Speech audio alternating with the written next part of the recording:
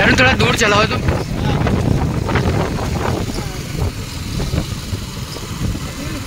गाड़ी आई नहीं। तुम्हें तो लोग